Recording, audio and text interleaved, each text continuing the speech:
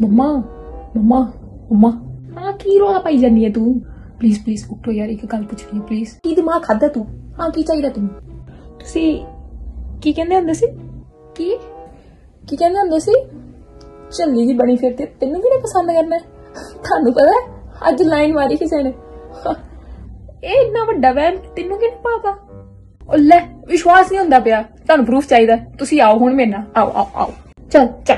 ਚੱਲ ਚਲੀਏ। ਆ ਜਾਓ ਆ ਜਾਓ, ਆ ਗਈ ਆ ਉਹ ਚੱਲ ਪਰ ਹੋਲਾ ਕਰ ਪਾ ਚੱਲ ਆ ਵੇਖ ਲਓ ਹੁਣ ਤੁਹਾਨੂੰ ਮੈਂ ਕਿਹਾ ਸੀ ਨਾ ਹੁਣ ਹੁਣ ਦੱਸੋ ਕਿਹਾ ਨਹੀਂ ਸੀ ਤੁਹਾਨੂੰ ਮੈਂ?